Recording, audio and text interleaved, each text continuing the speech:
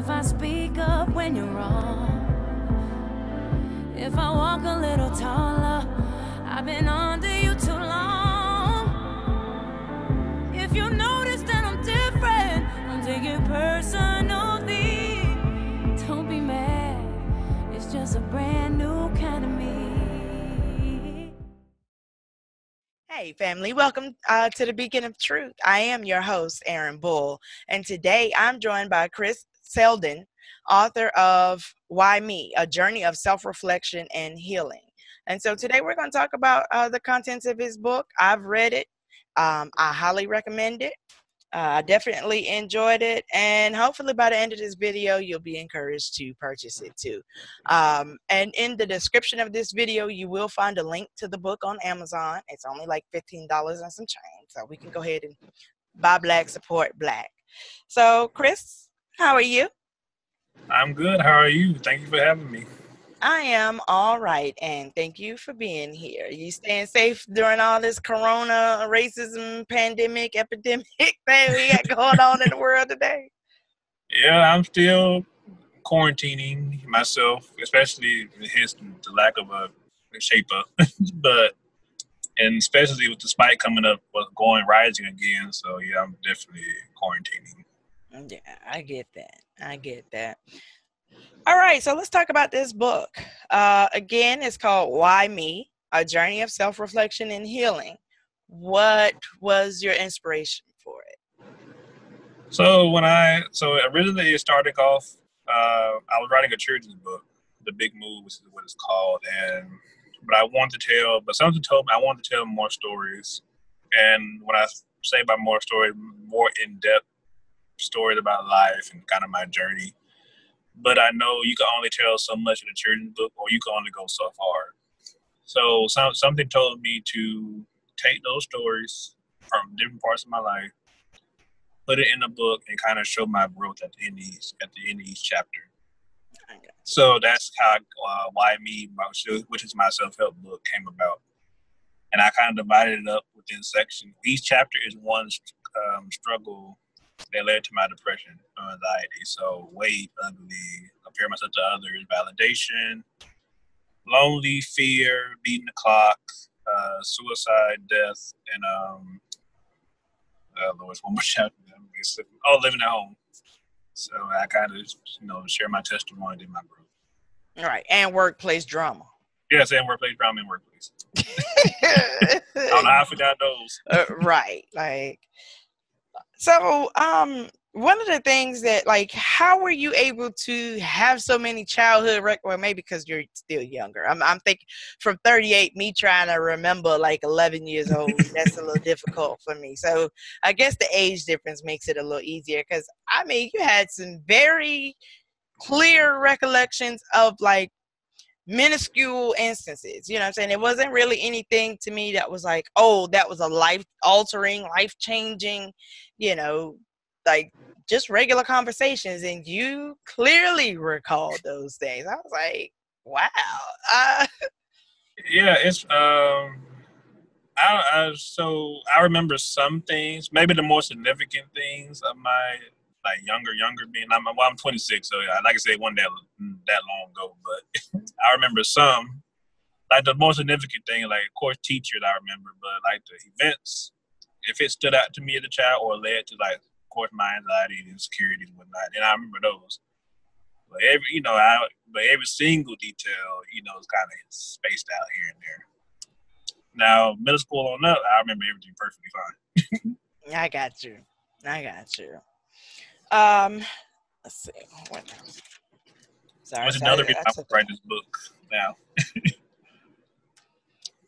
um, so of course, in your introduction, I think somewhere else in the book, you had this key line uh, that I just wanted to bring out, which was, as men, especially black men, we are taught that being vulnerable is a sign of weakness. Those unexposed feelings can lead to increased crime rates, which can lead to increased prison rates and high suicide rates, especially of African American men between the ages of 15 and 24.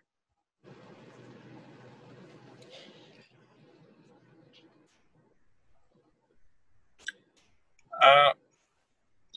Um, Yeah, go ahead. So when I wrote that uh, excerpt, it came from. I wanted to first. I wanted to be so as transparent as possible, and I wanted to show, especially a reality in the black community. And a lot of times, as black men, I was actually I had a therapy session yesterday, and I was speaking to him, and um, he was saying that a lot of people get surprised that he's a black man as a therapist, being you know it's such a negative stigma by being a black man going to therapy. You got a whole being a whole therapist. And a lot of times, us as black men, we don't express our uh, vulnerability, uh, emotion, something that bothers us. We kind of just brush it off and go on about our day. But it's not healthy. And, and I said, and I said in later in the latter part of the excerpt, you know, a lot of those unexpressed feelings turn into rage, and which then leads to uh, uh, black men in the and the jails and prison system, and then suicide rate between uh, black men between 15 and 24, which I was so shocked when I uh, found that out, especially that in that young of age range. But yeah. Yeah, and you know, just not a, it's not only for black men. Black people as a whole are very um, hesitant to seek therapy. You know, generally, if you are not just absolutely crazy, like where you're hallucinating or hearing voices or things like that, we don't really turn to therapy or counseling. Um, I will say over the last couple years, you have seen a greater focus being brought to African Americans seeking counseling. And just me personally, you know, I think, you know, uh, one of the conversations in the political world is reparations I think that counseling should be part of reparations for African Americans because I, I think that no matter even even if you have a traditional upbringing, meaning you know you're not molested, you don't have to deal with alcoholic parents or an absentee parent or you know any of those kind of things, there's still some degree of just PTSD from being black in America. So you know I and, and I I'm kind of uh, contradicting myself because I have not had counseling or therapy, but it's really just because I can't afford it. But I do see the value in it. And if you have the opportunity to seek counseling, even if it's just one session, you know, just a, a wellness check kind of thing, you know, hey, am I looking at life right or blah, blah, you know, that, but that's just how I feel about therapy and counseling. I mean, definitely, and um, and a lot of times, cause I couldn't. Uh, that's the part of it too. Why kind of, you know, I didn't go initially. I couldn't afford it. But so I until later on when I started working another. Well, I'm fired now, but when I started working there, I could do it. And um, but I believe somebody was telling me. I think it Medicare or Medicaid, whichever one. I think deals with adults. I think they say you get it for free, or they pay a certain amount uh, of the bill. Um, right now I pay out of pocket. So yeah, if you have insurance, definitely look at look and see see what if they offer a mental uh, wellness check, uh, the part of it, and see if they offer it, and kind of go from there. Okay. Uh, let's see. What other key lines do I have here? So, of course, like my favorite line from the whole book it's kind of a shallow line. I probably should be a little deeper with it. But this one was from the lonely chapter, you know, where you said the only thing left that I could do was get a hug from a girl and touch her backside. I was, I don't know why, why, because I, I, I've only written like five or six key lines, and most of them are a lot deeper than that. But that one, I was like, I don't know. it's funny because I, I, added that for a little com- comedic relief, you know, in this chapter. Cause I, it's well, actually, I was conflicted. It wasn't going. I didn't make the book because I was like, you know, we in this whole Me Too era. So I was texting people like, should I put this in the book? I don't want to, you know, talk about sexual harassing nobody, and especially I spoke about that later on in the book. So, but they were like, "That's cool. You were a teenage boy. You know, nobody gonna trip about that." So, right. I mean, and you know, I, I certain, I mean, now that you bring it out, I could see some concerns about it, but yeah, I, but I didn't. It's funny. It, you know, again, this was the younger you. I think you yeah. were in I high school. Yeah, 15, 16 years old. Yeah, so you know, it's not like you were talking about that yesterday. Yeah. you know, That's a I know grown man running around trying to touch a backside. You know, that might nah, that's a problem. but Um, one of the things that I did just want to say about the book in general is that it was a very easy read. It was definitely a very easy read, and um, especially because I am not as much of an avid reader as I used to be. Um, you know, I used to read novels. Like I've read Gone with the Wind. I read the sequel to it. I've read uh, Malcolm X, the autobiography, and the script from the movie. that's a long movie too, Lord. uh, uh, yeah, so Malcolm X, the autobiography, was every bit of a thousand pages, but I and as well as Gone with the Wind, and I normally would read those in about four days. Wow. Yeah. You know, it's, it's funny you mentioned that because um, that also another reason inspired me to write a book because um, kind of going in school, we uh, you know, it wasn't a lot of strictly African American literature that was kind of you know put in front of us all the time, or if it was, it was more so the traditional, like the ma- major major African American authors. But it wasn't until I got to college and I took a course on it that I kind of learned about, of course, the majors, but more so like even uh, I don't call them non-major, but local or the maybe not so popular ones. And I was like, wow. Even my professor at the time, who taught the class with author, so I was like, why does is meet Like a, you know, I, I got a whole author teaching me. Mm-hmm. So that def- that made me want to write. Uh, definitely another reason made me want to write books. That's where I want to, you know, put my hat. and there's not a lot of African American authors out there. All right.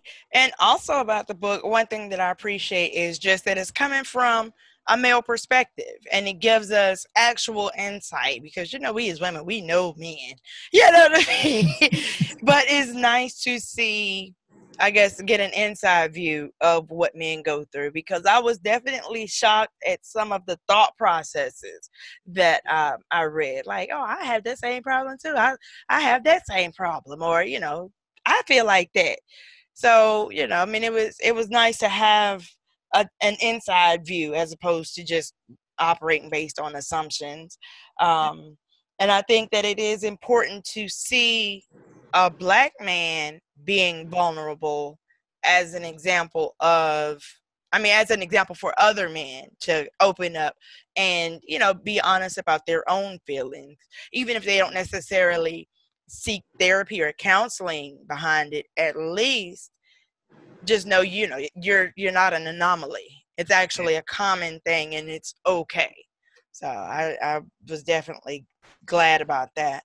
Um and i was interested by just the general appeal of the book. Like i was really into it pretty much from cover to cover you know. I tell i was disappointed when it ended. I was like I mean, I can do math. You know, I see the pages getting closer and closer to each other. I see the book getting smaller. I'm like, oh no, it's about to end. It's about to end. And then finally, when I got to the end, I was like, oh, that's the end. Because, you know, it was just the appendix and the other supplementary things that you added, like the um, to do list and, and things like that, and the pictures.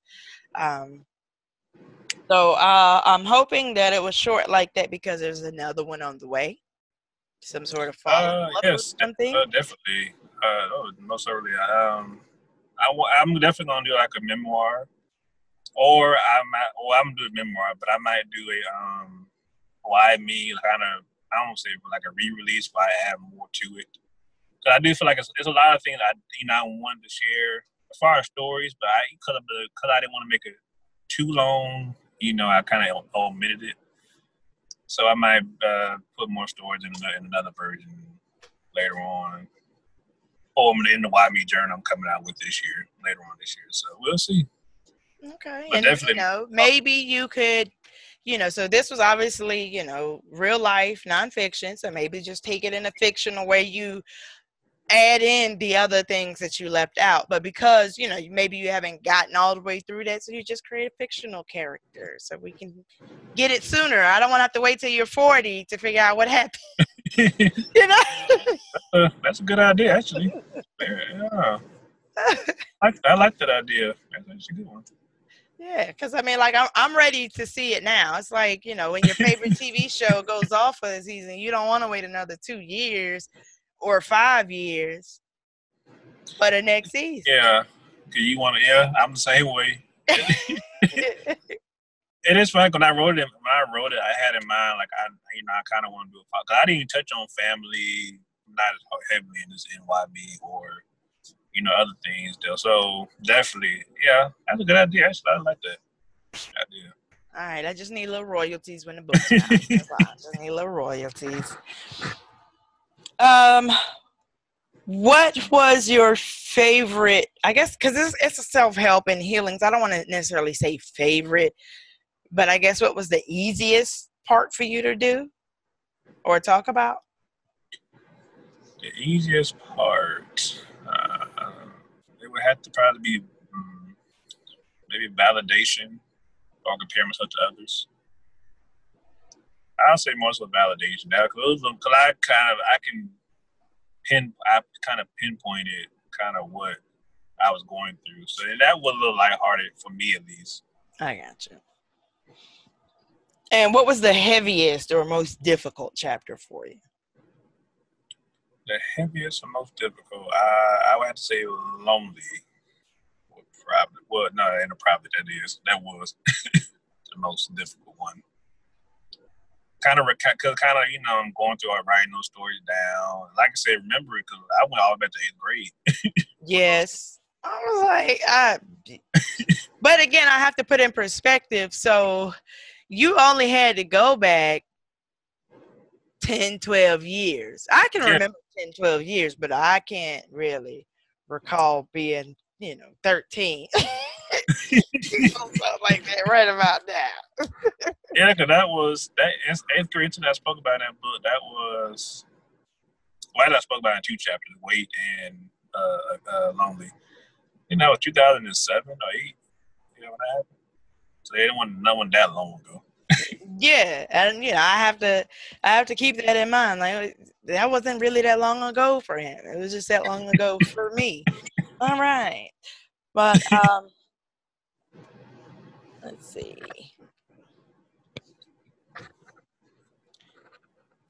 So I know you also touched on, you know, that you felt bad for being uh, delayed in getting your degree. hmm And I actually think that is more commonplace than I guess we realize. Because, you know, I, I was delayed in getting my bachelor's degree. I graduated from high school when I was 17. So technically, I graduated early. Um, but I didn't get my bachelor's degree until I was 33 years old. You know, I had some, you know, I went to, uh, I went to college directly after high school and then I tried to go to the military and I came back home, tried to find myself. And then I decided, okay, let me go back to school. And um, I went on a part time basis. So, sorry. I was getting a notification from Zoom. All right. still about to cut off. Oh no, they they actually extended it. So apparently it normally has a 40 minute time limit, but I we hadn't even been here for 40 minutes. But anyways, um, so yeah, I was I was delayed in getting my degree, um, and when I went back, I felt old, but there were a lot of people in my classes a lot older than me Exactly. and because I went to school while I was working, I don't think there was only a short period of time that I was just solely going to school. It may have only been like one semester.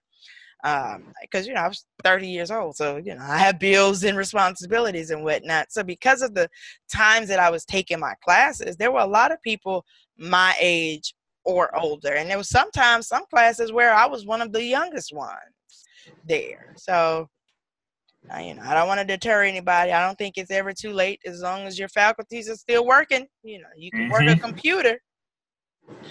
And it's funny you spoke my exact thought process. So I mean, I, mine was a little different from yours in the sense because um, I graduated when I was 17. I turned 18 like two weeks later.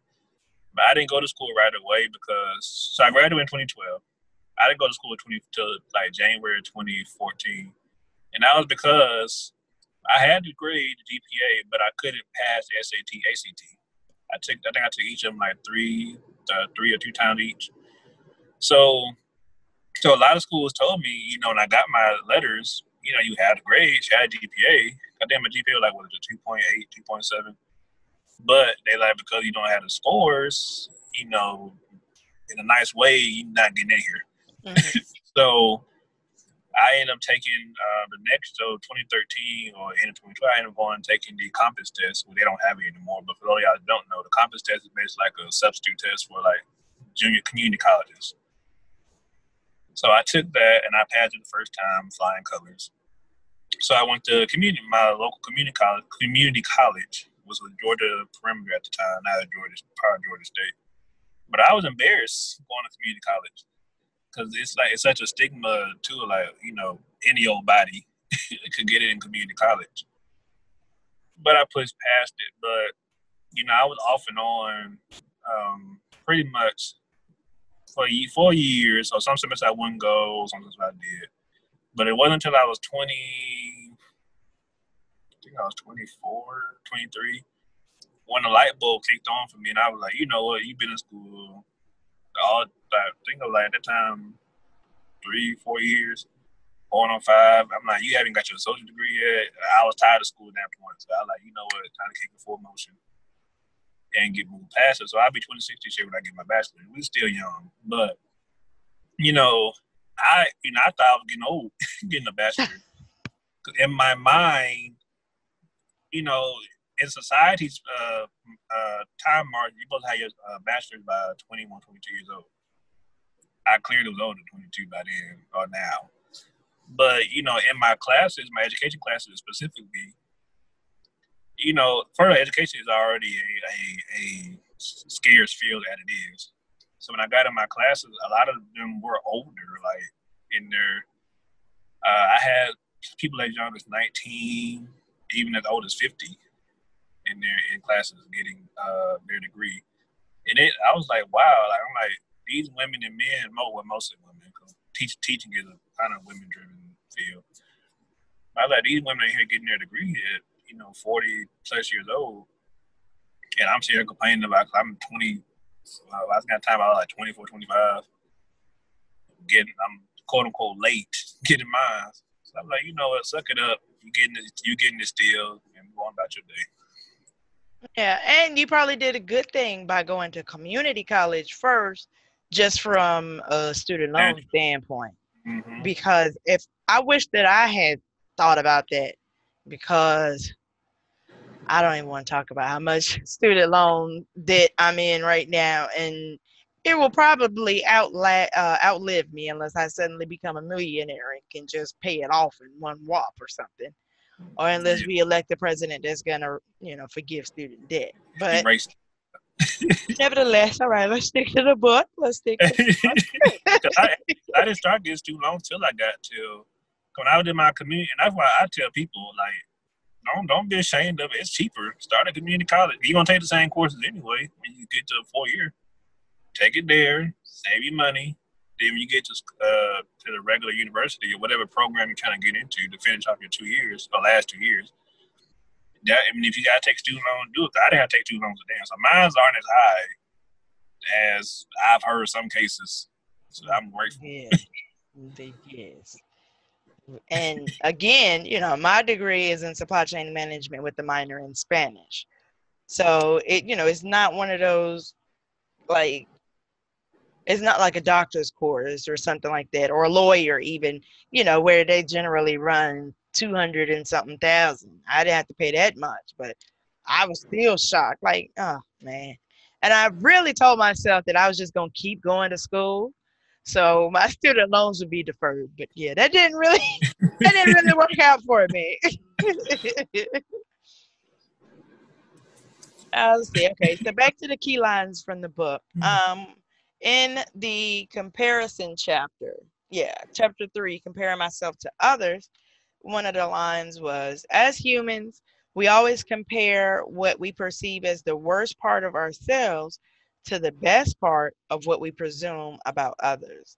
I found that to be a really like mind shocking statement. I mean, it's very simple and it's true, but you know, it's just something I never thought about until I heard it because that uh, that is true. You know, when you see somebody, you know, they have a nice body. You you and and the reason you're noticing their body is not just because it's nice, but because that's where your flaw is with yourself. Like I'm not really happy with my body.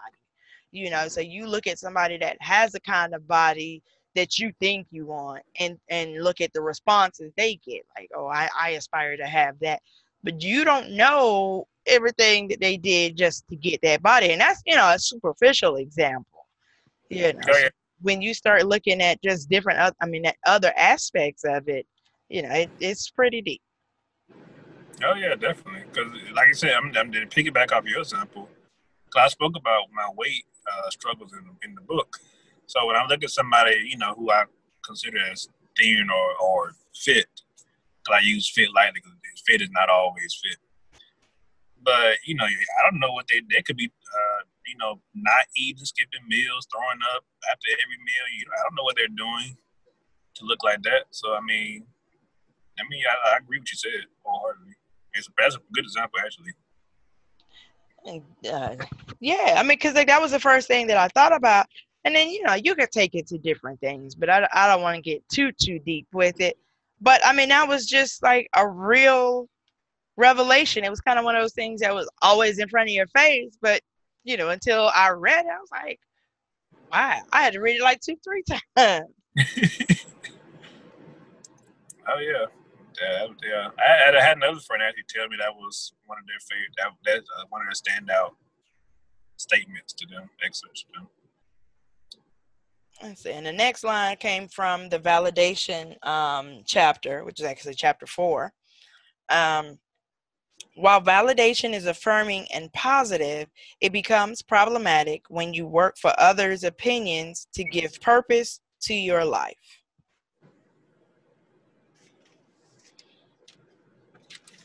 Yep, that was. So when I thought about that one, and I and of course uh, you all had to read the whole validation chapter to kind of get the context of it. But you know, when you look to other, it's it's okay, and I, and I explaining it kind of it was not hard, but kind of explaining, but it's okay to have others' opinions or to look for others' opinions about something because you know we we sometimes we need that that construct, constructive criticism or those opinions to kind of grow or see what we need to work on, whatever. But it's not good when you have when you look at those opinions to build your self esteem or to your what or whatever you don't feel about yourself, which is where that excerpt came from. So when we look for validation, we want to look for it in more so as for what we can work on, or you know, kind of in a mindset, not you know, let's build up our self esteem kind of way. If that makes sense to you. Yeah. And I think in this day and age, you know, with the proliferation of social media, you know, the Facebook, Twitters, Instagrams, and things like that, people turn to that for validation as opposed to even like they will only work on what they see as successful or you know brings the fame for other people rather than like they'll do something that's not even in their character just for likes and followers. comments and followers and things. You know, I mean, now again, I'm a little bit older, so I didn't grow up with social media. okay, like when you know, we didn't really, we didn't have video like that. Didn't even have video music. Like I came about as MTV came about. So it really wasn't a whole lot of external impact like that um, you know, when when I was using the internet, we still had dial-up. You know, you still had to wait for people to get off the phone. Don't don't laugh. I'm not telling a joke right now.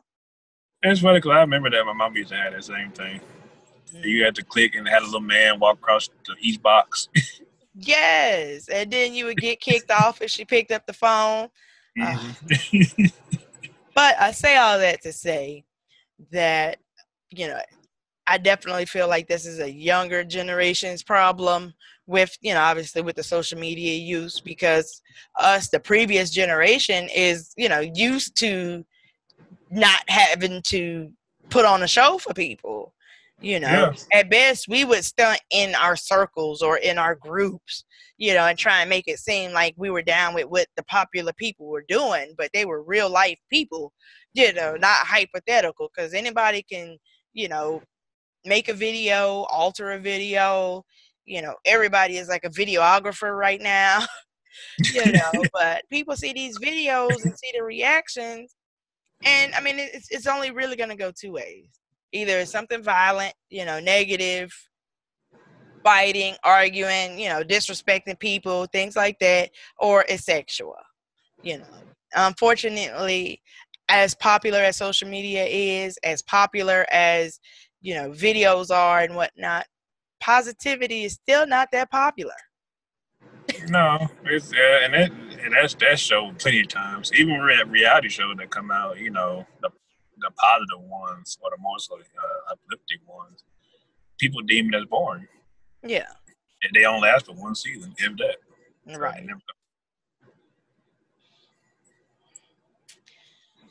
All right. Um, we have pretty much covered the book. You know, I'm saving this one chapter for the end. And that was the chapter on friendship. So, for those of you who have not read the book yet, every other chapter in the book has, you know, a beginning, a climax, and an end. Like it's a resolution for each chapter. You know, you can feel the growth. It kind of takes you up on a roller coaster. Okay, cool. And it's smooth sailing, and you're ready for the next chapter. I took issues with this friendship chapter because I was like, there is no growth here. Why is this chapter done? We have not grown. Uh, it's funny you say that because um, when we uh, I, I the way I set the chapter up for those of are watching this uh, interview, I put it as, a, as in my expectations of it, what a friend should be to me from my from my different experiences uh, or different encounters with people. So uh, I can't remember they had worked uh, item by item, but a few ones like be there for me in my time of need. Um, don't take advantage of me. Kind of just paraphrasing, but um, checking up on me, support, you know, things of that nature. So um, then I would give an example of either how somebody has not done that or how somebody has done that. And then kind of, and, you know, that's how I kind of molded that chapter. So you saying with the support, no, not support, but friendship chapter uh, version, you said, uh, what you say, you took issue or you, something didn't sit right. Yeah. And it could I mean, I I think it may just be a generational difference, honestly. Because like for one, you know, you talked about support. And you talked about what support looks like to you without taking into consideration what support looks like from them, you know, from your friend. And be and you basically lined it up like this is what I do, so this is what I expect. But you know, you don't leave a lot of room for individuality right then. Uh, and and you know I can agree with you on that part because when I wrote it out, for, and let's let's do some support. So I list out what I've done for, for friends, uh, especially those because you know we're getting older. People want to start businesses, so I simply said people starting businesses, either buying the stuff, liking, sharing, or sharing it on my Instagram feed, uh, story, whatever. So, but I, and I get what you're saying because I say what I think support is, but I don't necessarily express that to the person what I feel like support should be in in my eyes. And I and I'm gonna use a recent example with this book. Um, I had friends buy it. I had some buy it the first day it came out. I had some buy it, you know, even today. But I had some people who haven't bought it. So, and I and specifically, I had a uh, a friend say, you know, he doesn't read books. So I, and, and he said that, I was like, you know, and I reverted back to the friendship chapter. And, you know, I kind of thought, you know, uh, hey, you know, I'm like, you could kind of, I mean, I would, even if you don't read the book, I would think you could at least buy it, or you can give the book away. I don't care what you do with it, you buy it, or give it away to somebody who might read it or who might need it. So, you know, in, in the book, I kind of make it like, you know, I'm a, I'm a cut off, you know, quick. Yes. Kind of person. Cut off champion. and, and, and, and, and, that's, and I'm not, uh, I'm, uh, well, I won't say I'm not like that, but I'm not as cold off doing it, but it'll take a minute. But when I do, before I do that, and this is a, now I will say this is a flaw of mine. I'm still working on. I don't communicate you know, what the issue is with the other person, and I will say that. So I might be mad now. I don't. I'm usually friend with the book, saying he might not buy the book. I'm not mad at that, but that if I was to harbor some kind of resentment for him or for him for doing that, you know, I would not. I would kind of distance myself from him. But he might not ever know why I'm. Well, I know he won't. He won't ever know why I'm mad at him if I don't tell him. So I will say, communication is something I'm definitely working on and still working on. Yeah, because that's definitely what I took from that chapter. I'm like, you cutting off these people, and they don't even know why you mad. They haven't had an opportunity to fix it, explain, or try. You just had a level of expectations that you never communicated to them. They failed to meet those um, expectations, and you put out the big chop you know, like. and even even with the uh like like another uh, example uh, uh not example, but another item on my list was checking up on people.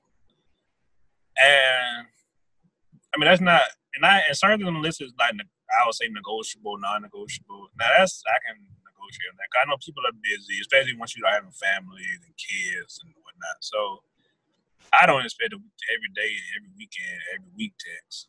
But I feel like every now and then you should at least check to make sure I'm alive, and vice versa. Yeah, I agree. I mean, you know, we're we're all adults. We have our own lives going on, but we always have our phone in our hand too. Yeah. You know, absolutely. so you may not be able to call, you know, because maybe your schedules are conflicting or whatnot. But if I reach out to you, I need you to acknowledge, like even if you miss the call, shoot me a text, call me back, or vice versa. If one of my friends reaches out to me and I'm unable to grab the phone then or answer the phone then, I'm at least give you the courtesy of saying, you know, hey, sorry I missed your call. I was such and such. Or even, you know, you don't have to explain your life, but sorry I missed your call. Is everything good with you? You know, just acknowledging that somebody is trying to reach out to you. Mm, absolutely. I agree. Wholeheartedly. So they show some kind of care, at least. Yeah. All right. Well, that that pretty much takes us through the book. I don't want to get too deep, you know. So, um, there are 13 chapters in this book, not including the introduction.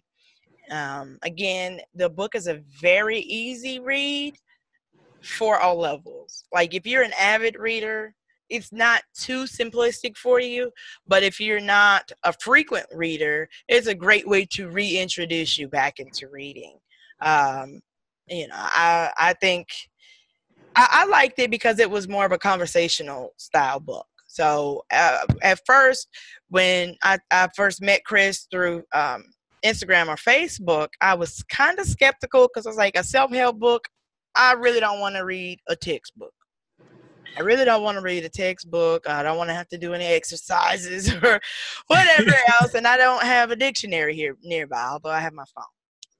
So um, I think that he did a really great job in allowing the book to have mass appeal. So there are portions of the book that you could even share with your middle school um, middle school age children, high school age children, and then obviously all parts of the book would apply for um, adults. Um, it makes for great conversation. I think that the style of the book allows you, like if you're just reading it for yourself, you can read it real easily. You have closure pretty much after each chapter. Um, but if you were to do like a book club or a discussion about it, it would definitely be a great uh, tool for that because each chapter is kind of like its own lesson. So you could just do a chapter per meeting or chapter per discussion or whatever and not really have like I like it because I don't have to remember it, I'm in chapter 10. I don't have to look back to chapter 1 to see, you know, what is he talking about right here because it's pretty much all inclusive in each. So it's Mm-hmm. almost like a series of short stories versus just a, a whole book. But um, it, it's a real easy read. Um, I I highly recommend it to anybody who is interested in self help, um, overcoming, you know, some of your shortcomings. Oh, also with this book, one of the things that I did appreciate about it is that it gives voice to like the common man str- str- uh, struggle or like the normal struggle. Because a lot of times when you see these self help books or um, these you know road to healing. It's always about like overcoming addiction abuse a broken childhood or something mm-hmm. like that. And they're they're legitimate books and legitimate reasons for that. But i didn't come from that you know. I had both my parents in my life um, you know i didn't have any uh, drug issues my parents didn't have any alcoholism issues or anything like that but there were certain things that i did just encounter just in my own life that I felt like maybe I didn't I shouldn't complain about it because clearly, you know, I wasn't abused, you know, didn't have alcohol issues in my family and things like that. So my issues were kind of just minuscule. I should keep it to myself and just figure out how to get over it. So, you know, this definitely helps you work through some of those things um, that may actually apply to you. Yeah, absolutely. And, we, and I'm going and kind of going back to the textbook part of your. Sergio, thank you for that. Thank you. And going back to the uh, textbook part of what you said, um, when I was writing the book, I, I had in my mind was self help book. I was like, well, should I add, you know, stats and this and that, and you know, and I was like, you know, at the same time, like, well, first of all, I didn't want to do all that research and sort of my. I had like a deadline to do it, so I didn't want to do all that research. Number one. And then I feel like it wouldn't be as authentic because I wanted it to be as raw and organic as possible. So I said, well, let me, I'm just to stick to telling my story and showing my growth and let people take what they, you know, can from it. And I, yeah, like I said, I don't like those textbook type books either because I would put it down quickly. Right, right. Um, I mean, and there were a couple of difficult chapters in the book, but definitely no boring chapters. Um, like I said, I just, I really, I, I was shocked at how much I enjoyed the book. You know, because I, I, I was very skeptical, like I said, but I had the digital version. I read the book in about three, maybe four hours. Yeah, because I know I read it all in one day, but I didn't read it all in one sitting. Um, and another thing, like I said, it's a conversational style book, so you will find yourself talking to the characters in the book. I'm just gonna tell you. So as you read the book, you might want to read it alone, so y'all can be alone in an adult conversation. because I was literally talking out loud to characters, whether it was Chris or the people he was dealing with in the book. But um, if you have not purchased it, like I said, there'll be a link in this video. Uh, check it out. Check it out. It's a really, really good book. Chris, I appreciate you for sharing it with me and bringing it to this platform. Um, I look forward to uh, reading the next one sometime soon. Oh, there you go. There's, there's, that's what I the know. book looks like. Yeah. Yeah. Thank you for letting me allow me to use your, uh, you know, come on your platform to uh, on pod on us um, what's the on your podcast and YouTube for to let me promote. Thank you. I got you- some notes, but you thank you for being one of the yeses. All right. Well, you're more than welcome. You know, at the Beacon of Truth podcast, we are Black 365. So, you know, it's my pleasure to afford you an opportunity to, you know, share your story, your testimony, and your, your book. So I appreciate that. Uh, before we wrap up, do you have any closing words for our guests or listeners? thank you all for taking the time for watching this interview. Um, uh, like, be sure to check it out. The the book "Why Me: A Journey of Self Reflection and Healing," which is available now on Amazon. And um, the hardcover books should I'm hoping by July first they'll be available for sale as well. And also we'll be coming out with the Why Me Journal slash activity book. Um, I'm gonna say probably October, November ish. And it's kind of like an extension of this, but every chapter will have like some form of activities where you're kind of evaluating yourself in a sense. So that look out for that too. And thank you again. Just thank you. And be safe, please, and stay home if you can. Uh, you know, use your voices for change, especially with with uh, all the Black Lives Matter protests, and also uh, I want to take this energy too as well to education because a lot of the inequities in the education system that we need to fix. So please, and coming from a future teacher, that's why I'm so passionate about that as well. All right. Well, thank you again, Chris. Um, we look forward to following you on your next ventures. Like I said, I, um, I'm getting the book soon. And um, hopefully, you know, a couple of other people that check out the book. Uh, um, I'm pleased to hear about that journal. So I'm definitely going to have to uh, check that out. And that'll come right around Christmas. So somebody's going to be getting that for a Christmas present. They don't even know it. but that's cool because it makes shopping, Christmas shopping easier. Uh, but all right, we'll go ahead and wrap this up. Thank you so much for your time. Thank you. And uh, to all the listeners out there again, thank you so much for your time. Thank you for watching. I am your host, Aaron Bull, and this is The Beacon of Truth. If you notice that I'm different, don't take it personally. Don't be mad, it's just a brand new